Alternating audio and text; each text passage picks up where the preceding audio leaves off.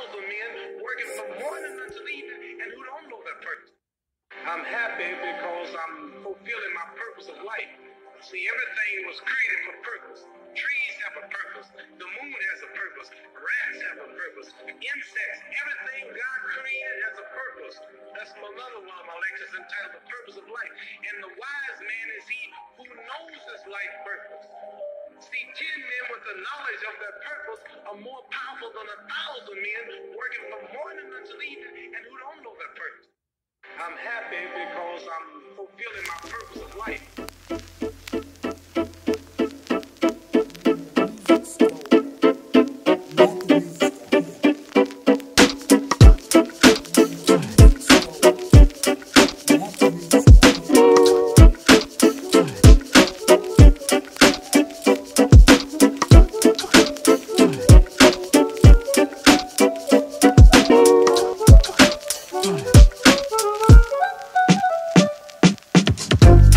thank you